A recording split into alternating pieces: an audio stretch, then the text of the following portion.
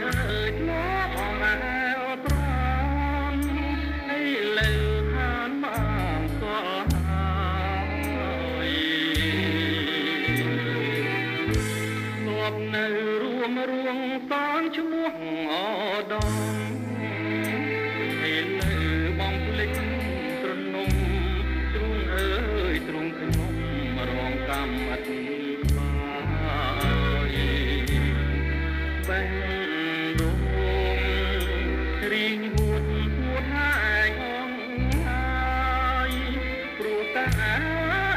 ត្រមត្រយចិត្តអើយនៅតែ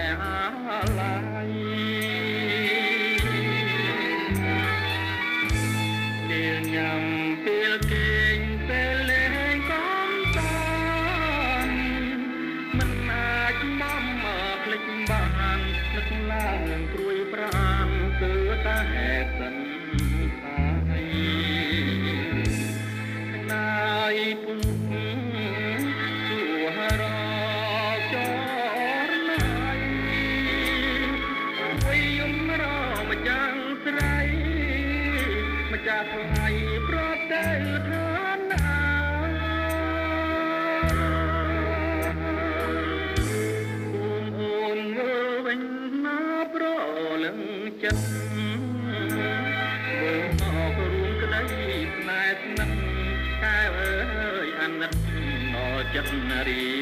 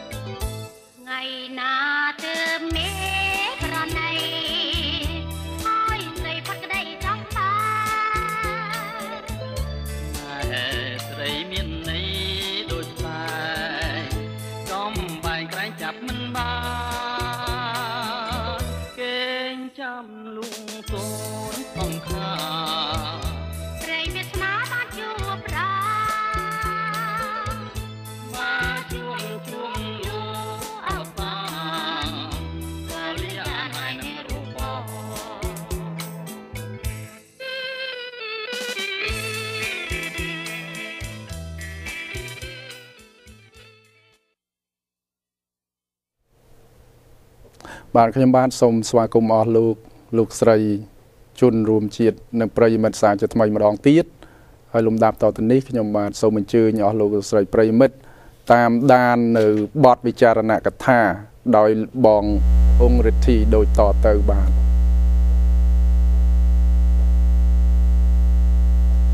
ច្រើនរយឆ្នាំមកហើយប្រទេសកម្ពុជាយើង បានទទួលរងគ្រោះថ្នាក់ដោយការសង្គ្រាមរវាង ពូជសាសន៍ឯងទៅវិញទៅមករាប់រយរាប់ពាន់ឆ្នាំដោយសារតែម្នាក់ម្នាក់ចង់ដណ្ដើមយកអំណាចហើយបានធ្វើការសម្លាប់រង្គាលរវាងគ្នានឹងគ្នាពីចំនួនមួយចំនួនទៅមួយចំនួនយុទ្ធជនជាច្រើនបានពលជីវិតពលីជីវិតដើម្បីការពារជាតិមាតុប្រទេសរបស់ខ្លួន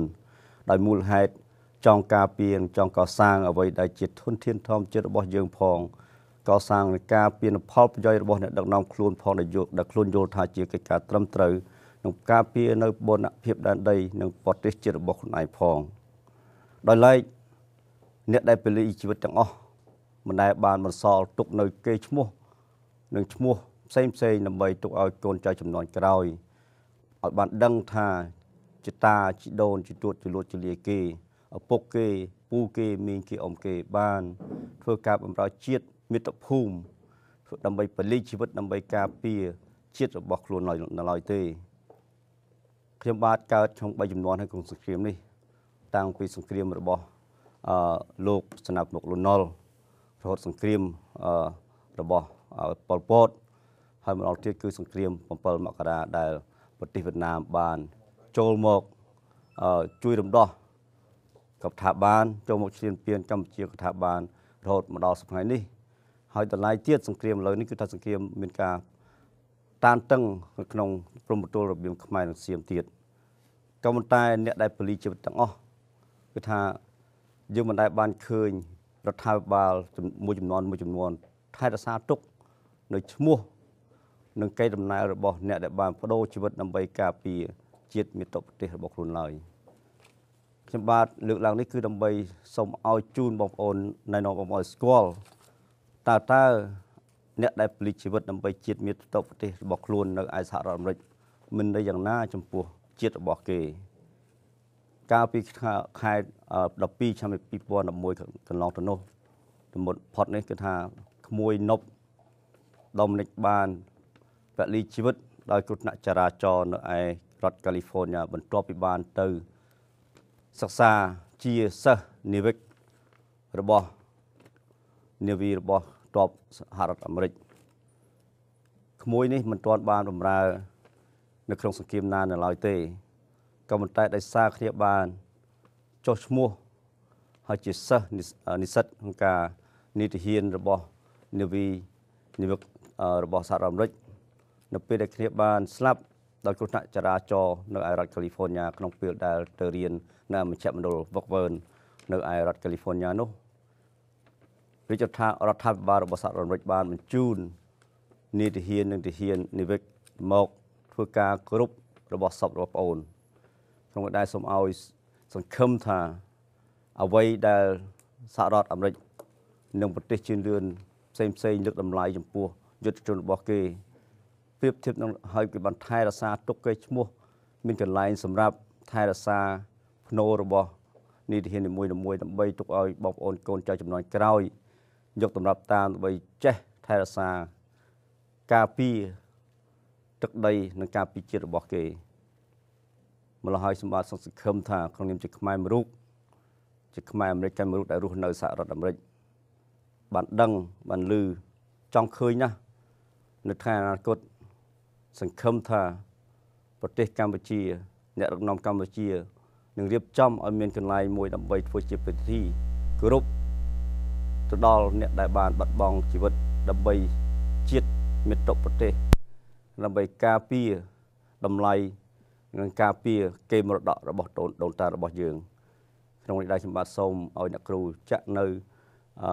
អឺវីដេអូខ្លះនៅដែលពាក់ព័ន្ធនឹងមរណភាពរបស់ក្មួយនប់ដូមីនិកដែលបានទទួលការអនុញ្ញាតអំពីមេដាបេដារបស់សពហើយមេដាបេដារបស់សពក៏សូមឲ្យពួកខ្ញុំខ្ញុំចាក់ដើម្បីជូន ផ្សាយជាជូនជូនជាដំណឹង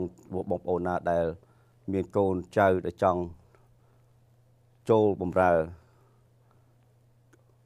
អឺបំរើជាតិមាតុប្រទេសរបស់សហរដ្ឋអាមេរិកព្រោះក្មេងៗចំនួននេះកើតតែកើតនៅក្នុងប្រទេសសហរដ្ឋអាមេរិកបាទសូមអរគុណសូមលោកគ្រូអញ្ជើញចាក់បន្តិចបាទ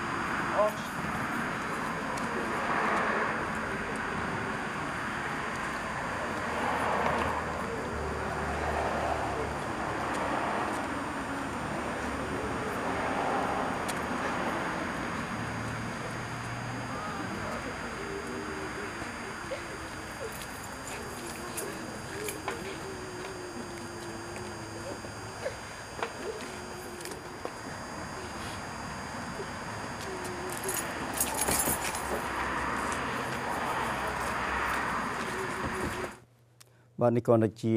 ភាពដំបូងនៅក្នុងពេលដង្ហែសពរបស់ក្មួយដូមីនិកហើយខ្ញុំក៏បានចូលរួមផ្ទាល់ដែរនៅពេលនេះគឺថាអឺគេបានទទួលគឺថា full uh, military service អឺគឺអឺគេអឺបញ្ជូនអឺទាហានមានភ្លេងបញ្ចុះសពដូចយើងឃើញឃើញក្នុងទូទស្សន៍អញ្ចឹងមានអឺគេហៅអនកានឹងបាញ់កំភ្លើងអឺអឺផ្ទុះឡើងមួយគេបញ្ចុះសព ហើយគេបានក៏បានបកបត់ទូងជ័យតាមលក្ខណៈរបស់អឺទាហានហើយបកគលជូនមេដាបេដារបស់ក្មួយដូមិនិកបាទនេះគាត់ក៏ចង់បញ្ជាក់ថាឲ្យបានដឹងថាតើតម្លៃរបស់ជីវិតមនុស្សម្នាក់ម្នាក់ដែលបានបម្រើជាតិមាតុប្រទេសរបស់សហរដ្ឋអាមេរិកតើមានតម្លៃយ៉ាងម៉េចថាតើតម្លៃរបស់បងប្អូនយើងដែលជានារីហ៊ានក្តីកូននារីក្តីដែលការពារជាតិមាតុប្រទេសរបស់យើងតើមានតម្លៃយ៉ាងម៉េចដែរចឹងដែរសម្បត្តិសូមចង់បើក ដើម្បីធ្វើការពិភាក្សាអំពីពីមួយចំនួនទៅមួយចំនួនណាទាហានយើងដែលបានស្លាប់ដើម្បីវាយប្រហារដេញបរទេសដែលឈានពៀនដីរបស់យើងបរទេសជិតខាងក្តីបរទេសវិឆ្ងាយក្តីឬក៏អ្នកដែលស្លាប់ដើម្បីការពារនៅនៅហេតុផលណាមួយក្តីតើតើសម្ងាយគឺថាយើងជាតិរបស់យើង ប្រទេសយើងតើមានបន្សល់ទុកអ្វីដើម្បីជាកេរដំណែលរបស់បងប្អូនយើងដែលបានពលីជីវិតដើម្បីការពារជាតិមាតុប្រទេសរបស់យើងដែរទេហើយអញ្ចឹងសម្រាប់ជាបើកចំហដើម្បីបងប្អូនអាចទូរស័ព្ទមកមកចូលរូបលោកក្នុងការនិយាយគ្នាទាំងអស់គ្នាបាទហើយតាំង7មករាក្តីនៅតាំងព្រៃឡង់ក្តីគឺជាជាហេតុផលអ្នកដែលស្លាប់នៅក្នុងកិច្ចការនោះគឺសុទ្ធតែស្លាប់ក្នុងការ កិច្ចការពីជាតិមិត្តប្រទេសទ្រព្យសម្បត្តិរបស់ភពផលរបស់យើងដែរបាទមកចិនហើយអញ្ចឹងបន្ទាប់តនេះខ្ញុំសូមអញ្ជើញអស់លោកស្រីប្រិមិត្តតាមដាននៅនេតិមតិប្រជាពលរដ្ឋដូចតទៅហើយខ្ញុំបាទក៏សូមអញ្ជើញអស់លោកលោកស្រីប្រិមិត្តដែលមានអំណងចង់ចូលវិភាសានៅក្នុងកម្មវិធីរបស់យើងនៅរាត្រីនេះហើយសូមដាក់លេខទូរស័ព្ទនៅលើកញ្ចក់ទូរទស្សន៍ផងដែរបាទហើយកម្មវិធីអឺ ប្រធានបទនៅរាត្រីនេះគឺយើងចង់ប្រៀបធៀបនៃតម្លៃយុទ្ធជនពលីរបស់សហរដ្ឋអាមេរិកនិងយុទ្ធជនពលីរបស់ខ្មែរថាតើយុទ្ធជនដែលពលីជីវិតដូចជាក្មួយនប់ដមនិកនប់នេះហើយប្រៀបធៀបជាមួយ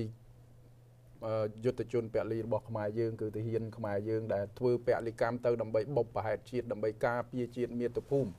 ដើម្បីការពារយុទ្ធធរថាតើ ទាំងពីរប្រទេសនេះមានភាពខុសគ្នាយ៉ាងដូចម្ដេចហើយអញ្ចឹងខ្ញុំក៏សូម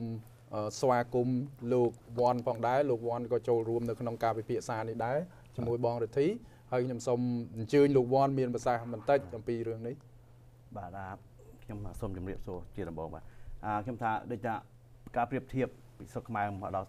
ជាមួយស្រុកអាមេរិកនេះវាខុសគ្នាដូចថាស្រុកអាមេរិកគេមាន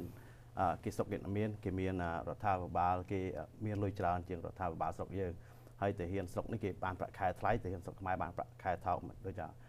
តាំងពីចំនួនដើមមកក៏ចឹងដែរម្ល៉េះហើយដូចថាពេលណាទាហានរបស់ខ្មែរយើងបាត់បង់ជីវិតទៅគ្រួសារទទួលបានថវិកាបន្តិចបន្តួចហើយនឹងលុយឧបត្ថម្ភសម្រាប់ធ្វើបុណ្យបន្តិចបន្តួចទៅតាមពេលវេលាដែលគេអាចធ្វើបានហើយតាមដូចពីចំនួនមួយទៅចំនួនមួយដូចថាសម័យឥឡូវនេះធ្វើធ្វើបុណ្យអញ្ចឹងអឺ ដូចរដ្ឋគេជួយមកខ្លះដូចថាមិនបានបបោទេគាត់ថាលុយអង្គភាពក៏វាក្រដែរបើគេជួយមកច្រើនពេកអង្គភាពក៏អត់ហើយយើងប្រៀបធៀបថាអាបើតាមបើថារបៀបដូចថាអឺរបៀបដែលយើងធ្វើបនសពហ្នឹងវាមានភាពកក្រែងដូចគ្នាមានអ្នកដូចថាជួយមកកាន់ទុកជួយរួមខាងបនសពហ្នឹងប៉ុន្តែផ្នែកខាងថវិកាគឺវាមានតិចជាជាង នៅស្រុកគេបាទតែខ្ញុំលើកឡើងគឺថាមិនមែនថារឿងដែលថវិកាច្រើនថវិកាតិចទេណាបាទប្រទេសយើងក្រក៏ប៉ុន្តែបើយើងមកជិះក្រវិញគឺថាគ្មានស្រុកណាដែលដែលជិះ Lexus ឬ Mercedes ដែលច្រើនជាងស្រុកខ្មែរដែលមិនជាវិក្រវិញបាទបាទក្រតែប្រទេសទី1ទី2ទី2គឺថាខ្ញុំចង់លើកឡើងថាពិតមែនតែយើងប្រទេសក្រយើងមិនបានឧបត្ថម្ភធ្វើឲ្យបានធំដុំដូចស្រុកគេមែនក៏ប៉ុន្តែទឹកដីយើងធំទូលំទូលាយណា អ្នកដែលបាត់បាត់បាត់បង់ជីវិតយ៉ាងសល់យ៉ាងហោចណាស់ក៏យើងដែលយើងទូលតែបន្សល់នៅឈ្មោះគឺកន្លែងណាដែលធ្វើជាស្នាសម្រាប់យើងនៅ The Vietnam Memorial នៅនៅ Washington DC ចឹងទាហានអាមេរិកស្លាប់នៅនៅនៅវៀតណាមទេនៅស្រុកយួនទេក៏តែយ៉ាងហោចក៏មានឈ្មោះអ្នកដែលបានពលិជីវិតដើម្បីបុព្វហេតុជាតិរបស់គេដែរដើម្បីការពារនៅលទ្ធិប្រជាធិបតេយ្យរបស់គេដែរតែចង់ឃើញក៏ចង់យ៉ាងអត់ក៏មានកន្លែងណាដើម្បីធ្វើជាអឺ សំណាក់ឬគាត់ថាតំណាងឲ្យអ្នកដែលស្លាប់យ៉ាងឲ្យមានឈ្មោះគាត់ដើម្បីឲ្យបងប្អូនកូនចៅចំនួនក្រោយហើយនៅនៅយក្នុងល់ថាតម្លៃរបស់អ្នកបុព្វហេតុនៃការពិជាតិបាទបាទខ្ញុំក៏សូមអឺចូលរួមនៅក្នុងរឿងនេះផងដែរថាការសង្កេតរបស់ខ្ញុំដែលខ្ញុំកើតឡើងមកធំធាត់នៅប្រទេសកម្ពុជាប្រហែលឆ្នាំហ្នឹងខ្ញុំណាសង្កេតឃើញថាអឺរឿងនេះមិនមែនជារឿងមានរឿងក្រក្រទេទេបាទ គឺជារឿងការយកគឺជាការយករឿងដែលតាក់ទងនឹងការយកចិត្តទុកដាក់របស់ថ្នាក់ដឹកនាំរបស់ប្រទេសខ្មែរយើងបាទឥឡូវខ្ញុំលើកឧទាហរណ៍មួយថាអឺអំពីចំនួនខ្មែរក្រហមហ្នឹងណាបាទចំនួនខ្មែរក្រហមពួកទាហានខ្មែរក្រហមហ្នឹងគាត់អឺតស៊ូខ្លាំងណាស់គាត់ តស៊ូដើម្បីបុព្វហេតុជាតិដើម្បីការពារទឹកដីរបស់យើងដើម្បីការពារផលប្រយោជន៍របស់នៅយើជំងនឿរបស់ខាងគាត់បាទអាហ្នឹងខាងគាត់បើគេនិយាយថាបើតាហ៊ានមែនទេណាបាទអ្នកបាទ professional soldier បានោះទគេការពារបាទខ្លាំងណាស់បាទតែលុះដល់ពេល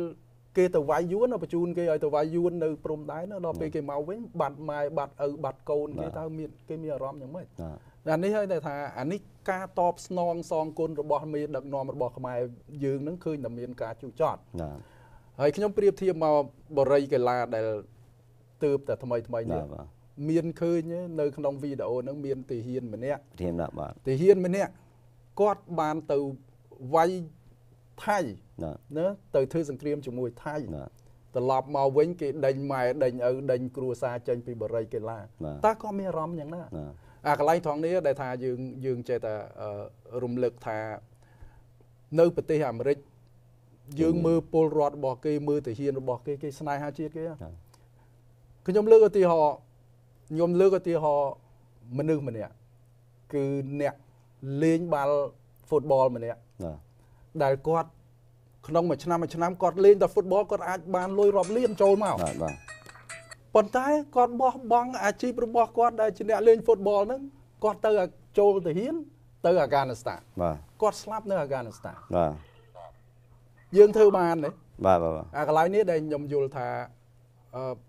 អាកម្រិតនៃការស្នេហាជាតិរបស់គេវាវាធំធេងណាស់បាទបាទហើយកម្រិតនៃការស្នេហាជាតិនេះវាមានច្រើនយោងទៅតាមអ្នកដឹកនាំដែរបើសិនជាយើងអាឡែងតែទៅវាយនៅមុខអ្នកដឹកនាំគិតតែពីពុកអលួយគិត